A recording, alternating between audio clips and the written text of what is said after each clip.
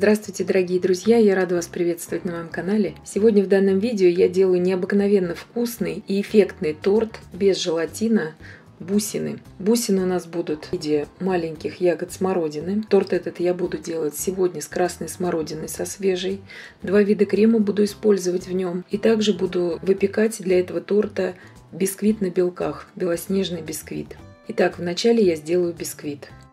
Для бисквита мне понадобится 7 белков среднего размера, 210 грамм, общий вес белка, щепотка соли, пакетик ванильного сахара.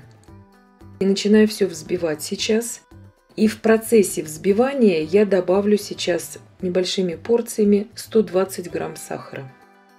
И взбивать буду примерно 4 минуты. Больше нет смысла взбивать здесь белки.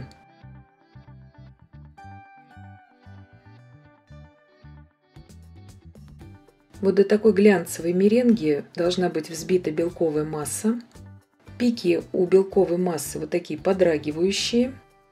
Не нужно взбивать белки в состоянии губки. И просеиваю туда 120 грамм муки и одну чайную ложку без горки разрыхлителя. Маленькими порциями просеиваю и очень аккуратно снизу вверх складывающими движениями лопаткой все это перемешиваю, чтобы не осадить белковую массу. Духовка у меня уже разогрета на 175 градусов Цельсия, режим вверх-вниз без конвекции будем выпекать. Две формы по 18 сантиметров я застелила фольгой. И выпекать буду примерно 20-25 минут. Бисквиты выпеклись. Они получаются ровными, они очень хорошо вырезаются из формы, они абсолютно не крошатся. И сейчас, как только я смогу дотрагиваться уже до формы, я их вырежу из формы и оставлю остыть до комнатной температуры.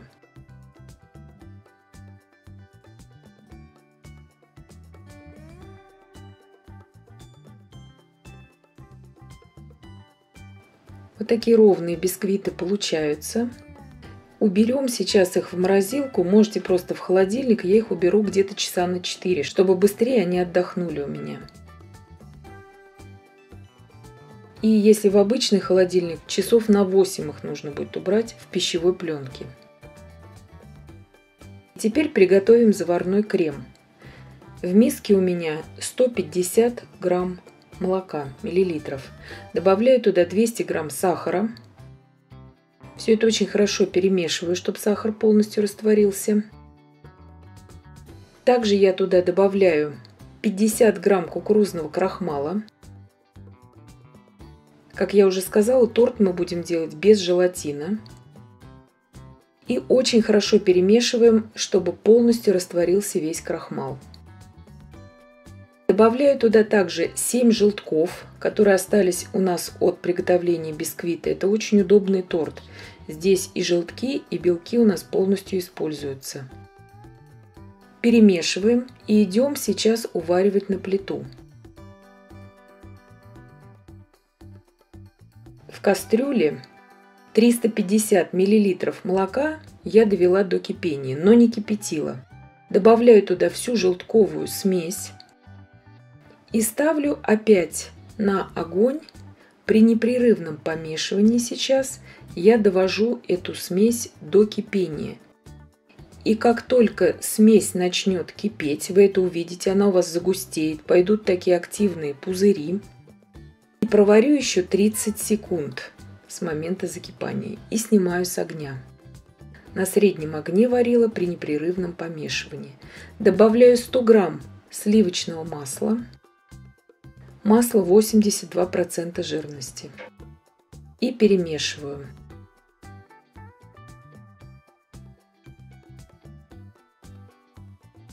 Сейчас я буду остужать заварную основу до холодного состояния. Накрываю пищевой пленкой в контакт, чтобы она не заветривалась. И очень хорошо охлаждаю. Бисквит я достала из морозилки. Он у меня уже так немножко оттаял. Я нарезаю кондитерской струной, вы можете нарезать просто ножом. Эти бисквиты очень хорошо нарезаются, они практически не крошатся. И вот такие 4 слоя у меня получится 18 сантиметров в диаметре. Теперь 450 миллилитров сливок, 2 пакетика ванильного сахара, 50 грамм сахарной пудры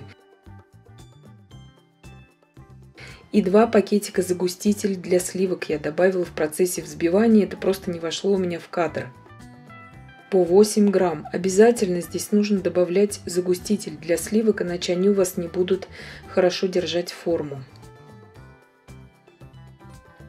Сливки взбились. Теперь всю заварную основу, которая остыла до очень холодного состояния в холодильнике, я перекладываю в миску, добавляю туда одну-две ложки взбитых сливок просто для того, чтобы заварная основа хорошо у меня распределялась по коржу. И просто перемешиваю это миксером. Ничего здесь взбивать не нужно. И такая достаточно и не жидкая масса у вас должна получиться.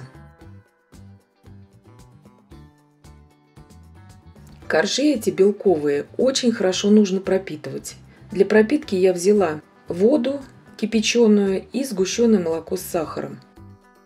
Наношу сначала заварной крем, распределяю хорошо.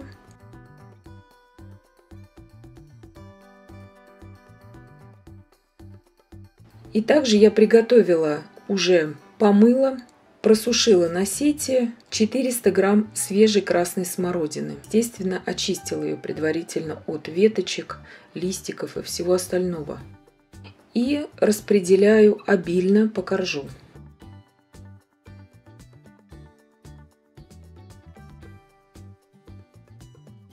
Вместо красной смородины можете брать любую кислую ягоду, и бруснику, и черную смородину, и вишню, и малину, то есть все, что вам нравится. Но с красной смородиной идеальное сочетание. И теперь также из кондитерского мешка наносим слой сливок.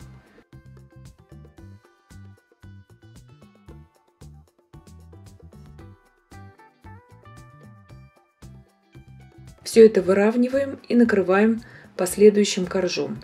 И так собираем весь торт. Вы же можете более низким сделать этот торт, это уже на ваше пожелание. Торт я собрала уже в кольце и убираю его в холодильник сейчас на ночь. Он должен хорошо пропитаться. Прошла ночь, я достала торт из холодильника. Крем я для этого торта буду для покрытия использовать творожный крем. Он очень вкусный и очень просто и быстро готовится. Готовила я этот крем в предыдущем видео. Вы можете пройти по ссылке в описании к данному видео и посмотреть, как я готовлю этот крем. Сейчас я делаю черновое выравнивание.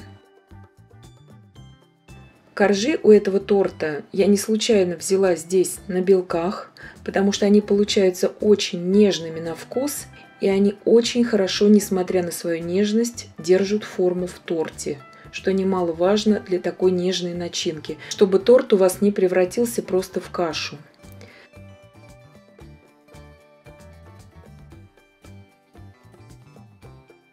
Сейчас я показываю вам, как я выравнивала этот торт. Делается это очень просто и быстро. Я нанесла из кондитерского мешка крем, дополняю его, где мне необходимо. Это также вот эти места заполняю кремом из кондитерского мешка. Выравниваю шпателем или линейкой.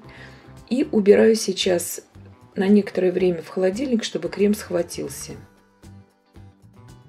Достала из холодильника, убираю с холодного крема уже излишки – Делается это на холодном креме очень быстро и комфортно. Заполняю все недостающие места уже мягким кремом.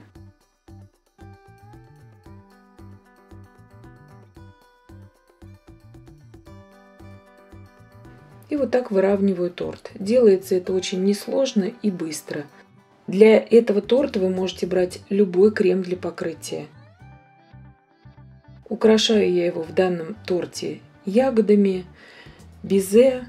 Вы же можете украсить на свой вкус. Такой разрез у торта получается. То есть очень красивый разрез получается. Как я уже сказала, бисквит на белках очень хорошо держит форму, но получается необыкновенно легким и буквально тающим во рту. И два слоя крема также очень хорошо прослеживаются в торте. Я надеюсь, что видео было полезным и познавательным. Подписывайтесь на мой канал, ставьте лайки, пишите комментарии. Я всем желаю больших успехов и до встречи в новых видео.